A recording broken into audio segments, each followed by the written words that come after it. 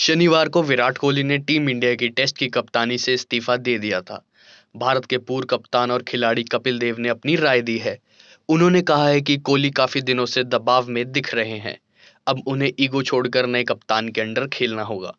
विराट कोहली ने T twenty world cup के बाद क्रिकेट के सबसे छोटे फॉर्मेट से कप्तानी छोड़ दी थी।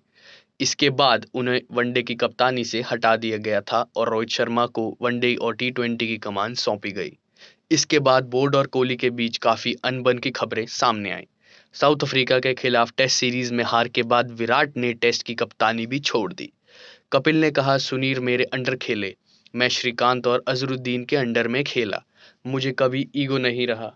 विराट को भी ईगो त्यागना होगा और युवा क्रिकेटरों के अंडर खेलना होगा। इसे उन्हें और भारतीय क्रिकेट को मदद मिलेगी। विराट को नए कप्तान को गाइड करना होगा। हम विराट को एक बल्लेबाज के तौर पर नहीं खो सकते। कपिल ने आगे कहा कि कोहली ने इतना बड़ा फैसला लेने से पहले ज़रूर सोचा होगा। वह सुलझे हुए इंसान हैं। हो सकता है कि अब वह कप्तानी का मज़ा नहीं उठा रहे हों। पूरे देश को उनको सपोर्ट करना चाहिए और उन्हें शुभकामनाएँ देनी चाहिए। अगर आपको हमारा वीडियो पसंद आया तो इसे लाइक करें, शेयर करें और हमारे चैनल को सब्सक्राइब करें।